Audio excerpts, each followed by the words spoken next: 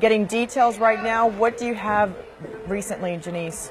Well, Cheyenne and Christy, the word we are getting right now is that more than 100 people were injured because of this train crash. So right now we are looking over these live pictures and you can see there are a lot of emergency management crews out on the scene, obviously trying to assess the damage and uh, really assess all those injuries. So this is what we really know so far is that uh, a New Jersey Transit train crashed into a Hoboken station. This happened probably around 8:45 this morning. That's when we started getting those reports. Um, and again, uh, according to, to what we're getting, the reports we're getting is that multiple uh, passengers actually at this time are, are trapped, and we're also getting reports of more than 100 injuries. As we look over these live pictures, um, you can see a tent is set up. The emergency crews are out there. Um, it looks like at this point they're just trying to assess everything to, to figure out exactly what happened. And wow, look at these images. We're getting a look from inside that terminal where it looks like a roof just collapse. I mean, these images are really just something here. So we know uh, more than 100 people injured. This was a New Jersey transit train that crashed into uh, a Hoboken uh, train station. And also the word that we are getting, as you can see from those, when you just saw from those photos, is that the crash seriously damaged the terminal itself. So uh, taking out one of the support beams in the building and causing a partial collapse of the roof that covers those tracks. So you saw from those images, uh, really the damage from that train crash. And right now, getting more live pictures. This is from the ground. You can see firefighters on the scene. We obviously see police there. They have the tape up, obviously blocking off this section. It looks like they're um, carrying some stuff here, obviously to probably assess some of the people that are injured. Again, you see right there more than 100 people injured. Also getting multiple reports that there may be passengers actually still trapped inside. When you look at the debris there, uh, right there you see someone sort of looking through that train, probably making sure no one else is there. But some of the reports we're getting is that there may be passengers trapped um, from all that debris from this crane cra- uh, from this train crash. Now, passengers, of course, were evacuated immediately from the terminal because of the structural integrity.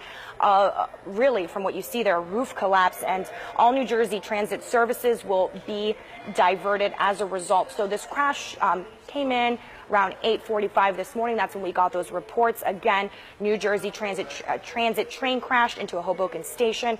More than 100 people injured. Getting reports that there may be some passengers trapped inside, and that's uh, really what they're probably trying to do right now. Obviously, the crash seriously damaging the terminal itself. Passengers evacuated as a result of that. Um, of course, we're going to be staying on top of this story, hoping to get a lot more details on what exactly happened. And again, more pictures from inside the terminal.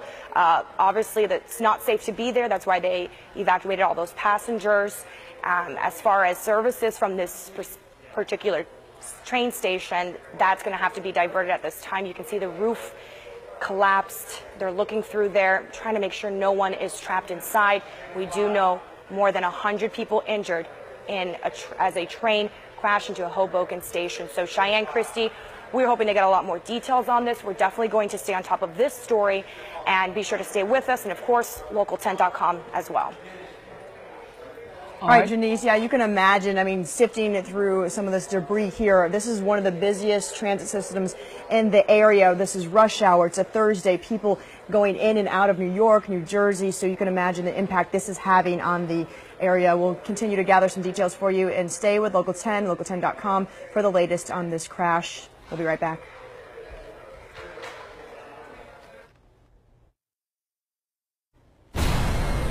We continue to follow the breaking news out of Hoboken, New Jersey. A train has crashed into a station there. We do know that urban search and rescue crews have been sent to this scene to start looking for people there. Janice Fernandez is uh, in our newsroom, and she's gathering even more details.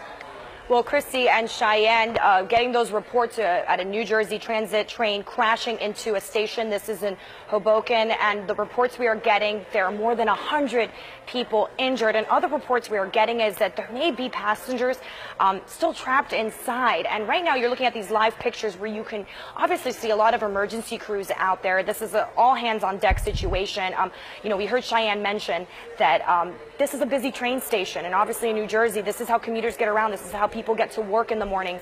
And right now, you can see from that up second, a piece of footage there, you can see people kind of looking through the train, probably making sure that there are no passengers still trapped inside. But we hear that this crash happens at around 8:45 this morning. The crash seriously damaging the terminal itself, as you can see from those images, and that is why they evacuated all passengers from that terminal. Hearing again, at least or more, rather, 100 people injured in this train crash and possibly still passengers inside. Again, a New Jersey Transit train crashing into this Hoboken station. Of course, Christy Cheyenne, we're going to stay on top of this and get a lot more details later on today. A headline, too, more than 100 people injured in this crash. We do not know their conditions, and there could be